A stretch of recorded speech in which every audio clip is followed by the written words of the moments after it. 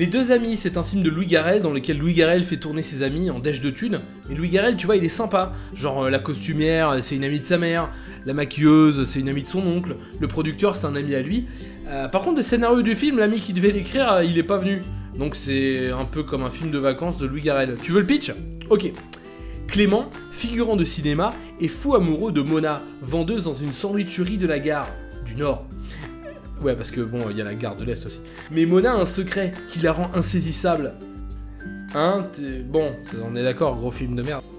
Par contre, les spectateurs dans la salle, c'est pas ses amis. Du coup, ils se font chier devant un film qui dure deux heures et en plus, ils vont payer. En fait, le film s'appelle Les deux amis parce que s'il avait appelé son film Clément et Mona, on aurait trop dit un titre de dessin animé sur Gulli, tu sais, genre euh, vers 17h15. Euh, un chat détective et une petite souris procureur de la République ou je sais pas quoi, wesh. Euh, Les deux amis, ça s'appelle aussi comme ça parce que quand Louis Garrel a annoncé qu'il allait faire un film sur Facebook, il a eu juste deux amis qui ont liké son statut.